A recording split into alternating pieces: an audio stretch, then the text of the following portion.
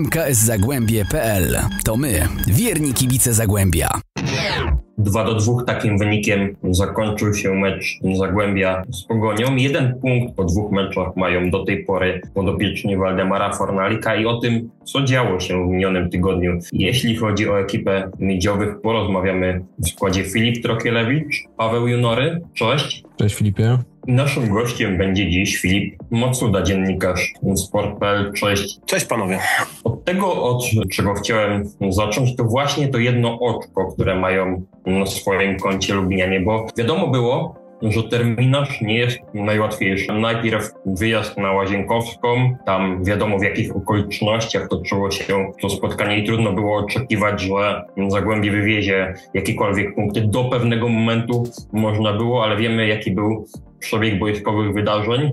No i potem mecz z Pogonią Szczecin, ten mecz, który odbył się w niedzielę i e, Filip, e, do Ciebie pytanie, które mi się nasuwa, bo przed Zagłębiem mecz z Puszczą w piątek i potem Lechia Gdańsk, czyli niżej notowane drużyny. Jaki dorobek punktowy dla Ciebie był taki, którego oczekiwałeś i po tych dwóch i przed tymi dwoma najbliższymi meczami, jeżeli chodzi o Zagłębie? No ja spodziewałem się, że Zagłębie zapunktuje w tych pierwszych dwóch spotkaniach, właśnie w meczu z Pogonią Szczecin. Mm, nie stawiałem, czy to będzie zwycięstwo, czy to będzie remis. Ostatecznie jest to remis. Wiemy, że Zagłębie przez długi czas prowadziło w tym spotkaniu i mogło wywalczyć trzy punkty. Natomiast pytasz mnie o to, co się zdarzy w najbliższych dwóch tygodniach. No tutaj wydaje mi się, że te cztery punkty to jest taki absolutny minimum, jeżeli chodzi o zespół Wademara Fornalika i nie chodzi mi nawet tylko o to, że zmierzą się oni z, z zespołami niżej notowanymi, tylko też po prostu o to, że no gdzieś tę swoją klasę, a zakładam, że no Zagłębie chciałoby mieć swoją klasę w tym sezonie, trzeba potwierdzić i, i z kim, jeżeli nie spuszczą u siebie, którą w poprzednim sezonie Zagłębie było w stanie pokonać, gdzie jeżeli nie z Lechią Gdańsk, która jest Beniaminkiem i która, umówmy się, jednak w tych pierwszych kolejkach pokazała, że może mieć problemy w Ekstraklasie, chociaż trzeba pamiętać, że to będzie też inny zespół, bo wraca do niego Max Łani, więc e, na pewno też trudniejszy rywal, ale wiadomo, że najpierw to, co zdarzy się już w piątek e, przy Skłodowskiej Kiri na stadionie Zagłębia e, zmierzy się Zagłębie właśnie z Puszczą. No właśnie, bo w przypadku, jeżeli musimy zakładać taki bieg spraw, który jest przypuszczalny, to oczywiście trochę gdybanie, Paweł, ale gdyby Zagłębie straciło punkty w meczu z Puszczą, potem z Lechią, to może się zacząć robić nerwowo, a jeżeli spojrzymy na występ miedziowych meczu z Pogonią, to momenty były, ale całościowo nie możemy być ukontentowani. Odnoszę wrażenie z tego, jak ta drużyna się zaprezentowała. Myślę, że nawet jeśli Zagłębie przegra i z Puszczą i z Lechią, to nadal y, jakiekolwiek ruchy y, nerwowe y, nie zostaną podjęte, bo to będzie mimo wszystko jeszcze za mało by mm, tutaj Piotra Burdikowskiego i spółkę chyba zdenerwować. Mam na myśli oczywiście gdzieś ewentualne rozterki, czy, czy zmieniać, czy, czy nie zmieniać na pewno będą, ale czy te decyzje zostaną podjęte, e, śmiem wątpić. No Zagłębie, tak jak wspomniał Filip e, Macuda przed chwilką, musi potwierdzić klasę i myślę, że e, faktycznie którymś z, z tych najbliższych dwóch meczów zrobi to. No, zarówno Puszcza, jak i Lechia są do ogrania, z tym, że Lechia nie dość, że, że wraca Juanin, to jeszcze też uczy się ekstraklasy na nowo. I na pewno będzie grała w kolejnych meczach inaczej niż w tych pierwszych kolejkach, no bo też pokazał motor, że, że trzeba trochę inaczej funkcjonować w ekstraklasie niż w pierwszej lidze, no bo jakby granie pierwszoligowe może się skończyć no, no bardzo, bardzo mocnym laniem już w ekstraklasie, więc myślę, że tutaj też tutaj to, to w Lechi ta nauka ekstraklasy na nowo jest potrzebna i no wcale Lechia nie, nie będzie łatwym przeciwnikiem, więc te, te, dwa mecze na pewno nie będą należały do najłatwiejszych dla miedziowych, ale mam nadzieję, że e, podobnie e, jak, jak mój przedmówca, uważam, że tutaj no, te cztery punkty to jest takie minimum z minimum. Jeżeli chodzi o mecz z Pogonią, ale też spoglądamy na te dwa ostatnie mecze miedziowych, no to e, wątkiem, który chciałem, żebyśmy poruszyli, jest Tomasz Pieńko jako zawodnik, no bo niejednokrotnie mieliśmy okazję rozmawiać także w poprzednim sezonie na temat Tomka, który zawodził, nie dowoził liczb i to było jego największym problemem i odnoszę wrażenie, chciałbym też właśnie poznać waszą opinię pod kątem takim, że to będzie kampania, która będzie taką z cyklu make or break dla Tomasza Pięki. To znaczy kolejny sezon w jego wykonaniu, który będzie przeciętny, może wskazywać na to, że ten jego rozwój naprawdę przystopował, ale jeżeli spojrzymy na to, jak on się zaprezentował z Pogonią, że dawał też w meczach, w grach kontrolnych, kiedy Zagłębie przygotowywało się do tego sezonu, jakieś e, sygnały wysyłał do Waldemara Fornalika, że jest naprawdę w formie, e, no i może zyskać. No i to widzimy faktycznie, aczkolwiek ja mam takie trochę mieszane odczucia, bo pamiętamy e, Filip Tomasza który potrafił zakładać czapkę niewidkę. Momentami to było chyba jego takim największym minusem, gdybyśmy spojrzeli, przeanalizowali jego grę. To był przede wszystkim piłkarz, który nie generował liczb i wydaje mi się, że to był duży problem, bo jednak mówimy o zawodniku ofensywnym. Teraz już w drugiej kolejce tę liczbę wygenerował gol, całkiem ładny, wydaje mi się, strzelony Pogoni Szczecin. I zgadzam się, że to może być taki sezon prawdy, zwłaszcza, że mówiło się o Tomaszu Pieńce jako kolejnym zawodniku, którego Zagłębie Lubin może sprzedać, sprzedać za niemałe pieniądze, e, pewnie dużo drożej potencjalnie niż Łukasza Łakomego, niż innych zawodników w przeszłości, ale wydaje mi się, że to jest klucz właśnie. To jest klucz, e, czyli generowanie liczb, bramek, asyst, też zaufanie od Waldemara Fornalika, bo wiemy, że z tym też bywało różnie w poprzednim sezonie.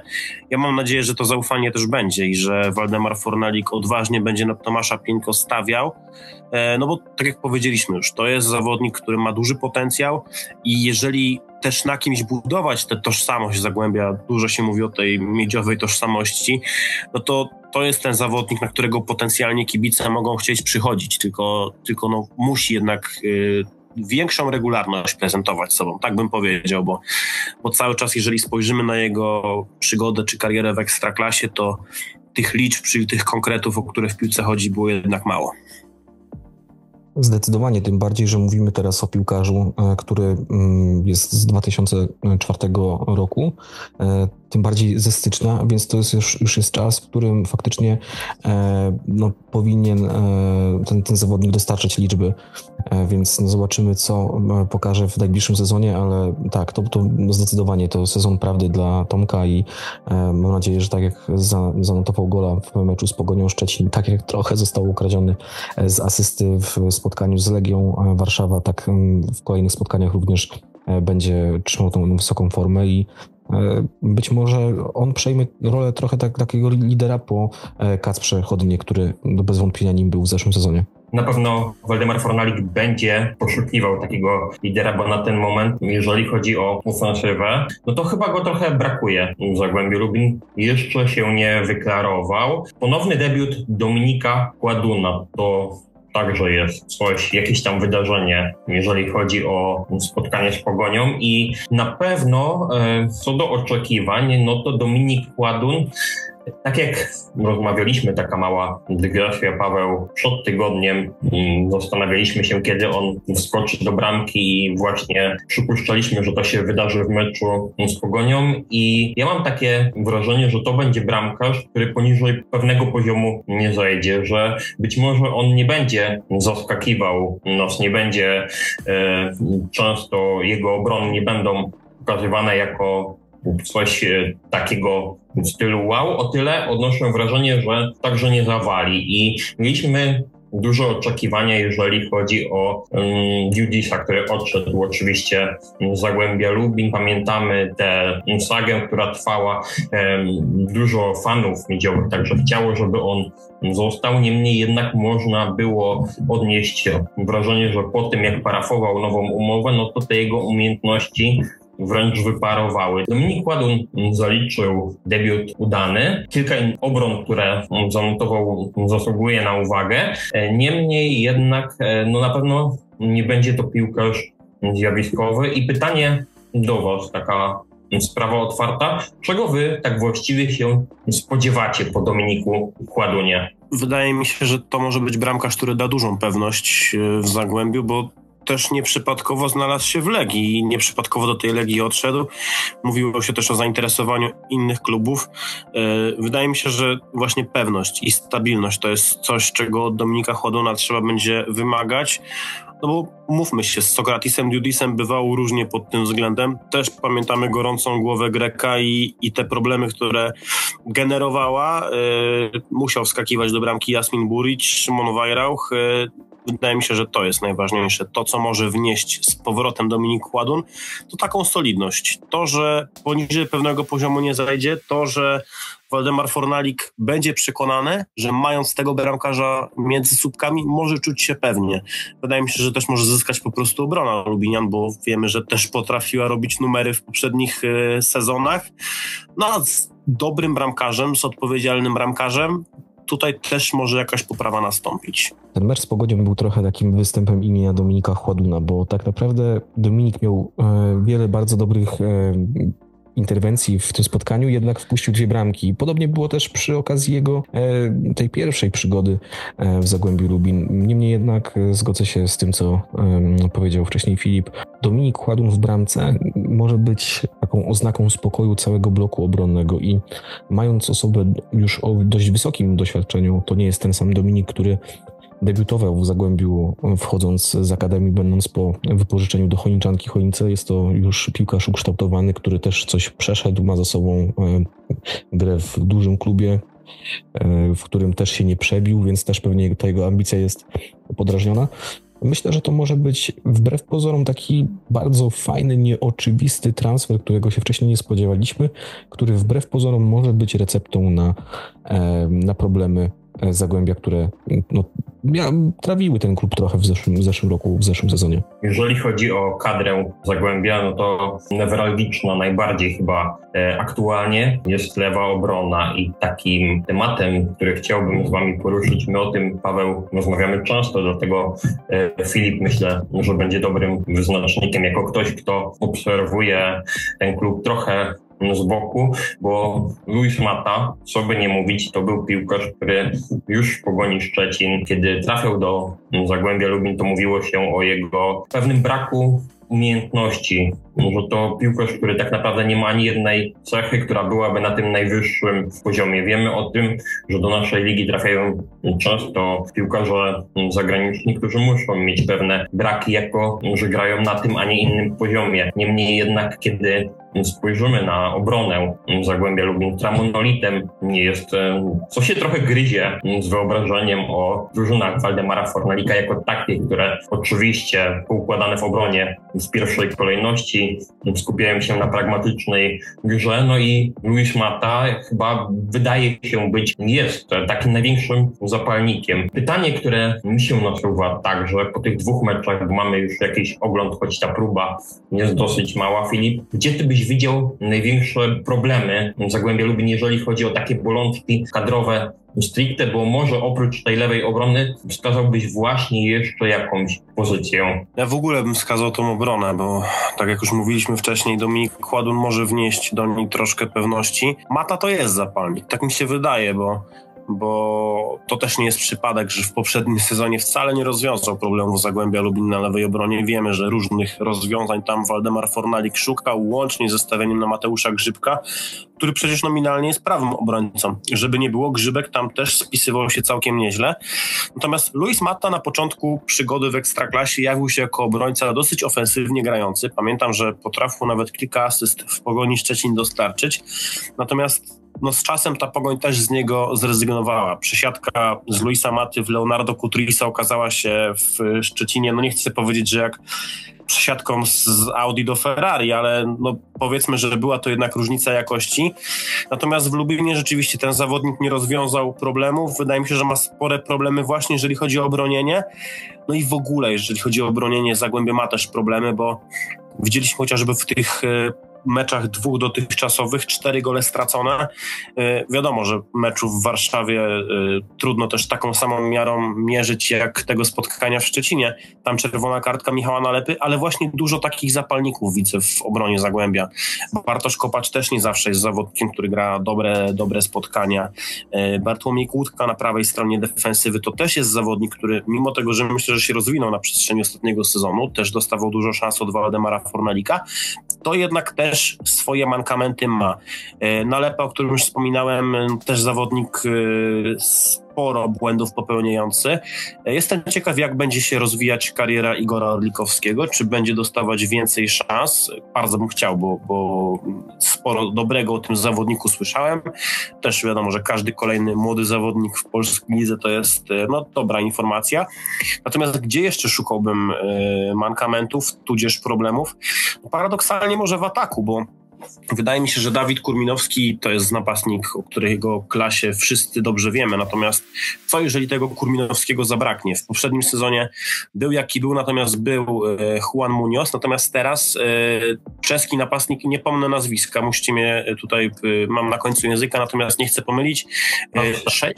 Szejk, Wacław Szejk, tak? Dobrze mówię? Wacław Szejk. To wydaje mi tak, to wydaje mi się, że, że może wcale nie być e, zawodnik gwarantujący dużą liczbę bramek. My wiemy, że, że strzelał w poprzednich sezonach, natomiast e, no, zawodnik, który zdaje się strzelał na zapleczu Ligi Holenderskiej, więc też takich piłkarzy już mieliśmy w ekstraklasie. Nie jest sprawdzali się zawsze, więc jestem ciekaw e, też tego, ile będzie dostawać szans. No ale właśnie, czy cała ofensywa znów będzie się musiała opierać na Dawidzie Kurminowskim? W poprzednim sezonie był jeszcze Kasper Chodyna. On co prawda dużo goli, goli strzelał z rzutów karnych, też sporo asyst robił. To były dobre liczby, jeżeli chodzi o tego zawodnika, którego w tym sezonie będziemy oglądać i oglądamy już w barwach Legii Warszawa, ale tego się trochę boję, jeżeli chodzi o Zagłębie właśnie, że to będzie zbyt e, bardzo zależny zespół od e, Dawida Kurminowskiego, jeżeli chodzi o zdobywanie goli. Ja, Paweł, pociągnę cię za język, ale e, także chciałbym ciebie podpytać, bo powiedział Filip o Gorze Orlikowskim. Zobaczyliśmy go w Warszawie, wszedł po czerwonym kartoniku, który obejrzał Michał Nalepa całkowicie zasłużenie i on będzie także zawieszony na to e, najbliższe spotkanie, w którym Miedziowie zmierzą się z Puszczą, tak jak już wspominaliśmy. Igor Orlikowski wybiegł od pierwszej minuty minuty w meczu z Pogonią i to był naprawdę debiut, który, po którym możemy mieć oczekiwania, że on nie będzie takim całkowitym żółtodziobem. Żółtodziobem będzie, ale może źle to ująłem. Inaczej e, to piłkarz, który pokazał, że bez kompleksów jest w stanie sobie radzić chociażby z takim zawodnikiem, jakim jest Eschimios Kuluris, który będzie pewnie aspirował do tego, żeby walczyć o koronę króla strzelców. Igor Orlikowski faktycznie w tych pierwszych e, niecałych dwóch meczach zaprezentował się z całkiem pozytywnej strony. E, to jest też jednak mimo wszystko malutka próba, by, by mówić nie wiadomo jak dużo na temat jego gry, bo też musimy troszeczkę bo chyba tak e, spokojniej do um, ocen e, Igora podejść. Jeśli faktycznie ten cały sezon Igor spędzi w pierwszym zespole, ale nie na zasadzie paprotki, ozdoby, która będzie tylko i wyłącznie jeździła na wycieczki i, i dogrywała e, w, te mecze w rezerwach, tylko faktycznie będzie miał wymierną e, rolę w pierwszej drużynie i, i będzie faktycznie otrzymywał szansę e, wychodząc w pierwszej 11, to myślę, że na koniec obecnego sezonu powinien udać się do Michała Nalepy z jakimś bardzo dobrym trunkiem albo czekoladą i to wszystko zapakowane e, w kokardkę, dziękując mu za to, co wydarzyło się mm, zaraz po przerwie tego meczu e, z Legią Warszawa. No bo no niestety tak ogólnie w sporcie jest, że e, nieszczęście jednego to szczęście drugiego i, i być może to będzie punkt zwrotny w karierze Igora Orlikowskiego, który no, tym nieszczęściem Michała Nalepy był w stanie wejść do składu i tak naprawdę e, tą, tą chłodną głową przekonać do siebie Waldemara Fornalika. No tutaj akurat myślę, tak sięgam pamięcią, jeśli chodzi o debiuty e, młodzieżowców z Akademii w ostatnim czasie i myślę, że wbrew pozorom do większości z nich było więcej uwag, czy z naszej strony, czy ze strony ogólnie kibiców, obserwatorów. Nie pamiętam takiego debiutu e, takiego debiutanta. po którym tak wiele obiecywano by sobie od razu, no bo do Bartka Kłódki były uwagi na samym początku, później e, miał lepszy okres, potem znowu gorszy. No tutaj w przypadku Igora zobaczymy, co będzie za jakiś czas, no ale jednak na tę chwilę pokazał, że ta akademia nie jest widmem, choć w ostatnim czasie moglibyśmy tak twierdzić, ponieważ e, ten proces dostarczania młodych zawodników e, do pierwszej drużyny nieco się zatrzymał, e, tylko faktycznie potrafi przygotować zawodnika do gry na szczeblu ekstraklasy, tylko ktoś musi tę szansę dać. Mam nadzieję, że to też taki będzie fajny fajny case dla trenera Fornanika, który zobaczy, że ok, wcale nie odstają e, ci młodzi chłopcy, tylko od czasu do czasu, jeśli faktycznie zasłużyli ciężką pracą, to warto dać im szansę, no bo mogą się obronić, mogą grać lepiej niż, e, niż ci doświadczeni, więc no, mam nadzieję, że tutaj akurat ta forma, ta, to, to co pokazał Igor Ordikowski w meczach z Legią i z Pogonią, no, będzie spowoduje, że poczuje jeszcze więcej pewności i w kolejnych spotkaniach będzie prezentował się z jak najlepszej strony. Pytałem na początku o mecz z Puszczą, o to ilu punktów się spodziewacie i tak zmierzając do brzegu powoli, jeżeli chodzi o naszą rozmowę, mecz w piątek i mecz, którego ja, panowie, szczerze powiedziawszy, gdybym był Waldemarem Fornalikiem, to trochę bym się obawiał, bo to takie spotkanie z grona tych, e, szerokiego grona, w których można wyłącznie, odnoszę wrażenie, przegrać. Każdy inny wynik, aniżeli rezultat na korzyść miedziowych, będzie odbierany jako porażka. E, podopieczni Tomasza Tułacza potrafią wykorzystywać już do kanonu przeszły te opowieści na temat ich stałych fragmentów gry, a rozmawialiśmy na temat tego, że Zagłębie ma duży problem, jeżeli chodzi o bronienie i to będzie chyba największe wyzwanie, jeżeli chodzi o to spotkanie, Filip? No mecz pułapka taki, tak bym powiedział. Y, taki mecz niewdzięczny, bo wiemy jakim zespołem jest Puszcza, wiemy jakim trenerem jest Tomasz Tułacz, trenerem metodycznym, takim, który jest w stanie pod przeciwnika przygotować tak naprawdę to, co umie najlepiej, ale przygotować w taki sposób, że ten przeciwnik, niezależnie od tego, jakim zespołem jest, jest w stanie przegrać, czy, czy po prostu stracić punkty. Mówię tu oczywiście o stałych fragmentach gry. Ja pamiętam wiele takich meczów w Lubinie, na których miałem okazję być. Pierwszy do głowy przypomina mi się mecz, e, przychodzi mi do głowy mecz Zagłębia Lubin z Radomiakiem Radom. To była niedziela, dwa sezony temu. Zagłębie przegrało na własnym stadionie 0 do 1 po golu Rafaela Rossiego. E, wcześniej piłka była wrzucona z rzutu z autu kompletnie nie zdziwi mnie taki scenariusz w piątkowy wieczór w Lubinie. Oczywiście no, tego nie życzymy kibicom z Zagłębia. Wydaje mi się, że, że Puszcza jednak to jest zespół, z którym Zagłębie powinno wygrać i, i będzie faworytem tego meczu, natomiast czy to będzie gładkie zwycięstwo? Wydaje mi się, że nie. Wydaje mi się, że mogą być męczarnie. Pamiętam też spotkanie z poprzedniego sezonu domowe, zresztą też rozgrywane w sierpniu, to już będzie sierpień, 2 sierpnia to spotkanie z Puszczą, w poprzednim sezonie 18 sierpnia. Teraz spojrzałem z ciekawości, też na tym meczu mieliśmy okazję być. E, to był mecz e, z Puszczą Niepołomice wygrany 1 do 0. Gola strzelił Kasper Chodyna w drugiej połowie i też mnie nie zdziwi taki scenariusz, że to będzie właśnie skromne zwycięstwo, czy to jednej, czy drugiej strony. Ja, ja stawiam tutaj na y, minimalną Zagłębia, może znowu Dawid Kurminowski, natomiast wydaje mi się, że to nie będzie widowisko y, rozpalające oczy kibiców. Myślę, że Zagłębie może w tym meczu cierpieć. To pytanie, czy przecierpi i te trzy punkty wywalczy. Z jednak no, niżej notowanym rywalem nie ma co oszukiwać się. Ja myślę, że to będzie taki futbol na nie. Raczej nie spodziewałbym się fajerwerków podobnie jak, jak przedmówca. E, myślę, że to, to będzie mecz albo z jedną bramką, ewentualnie e, z, z dwiema.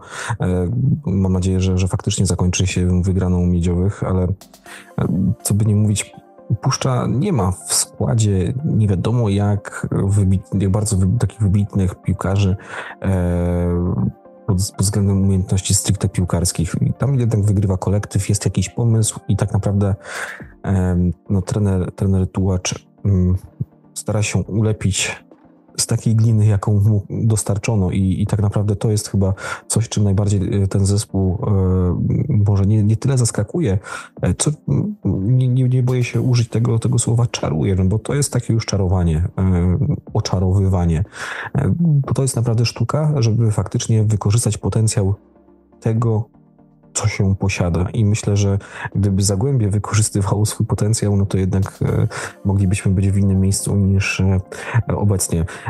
W piątek spodziewamy się meczu zaciętego, w którym mimo wszystko żadna e, z drużyn nie odpuści.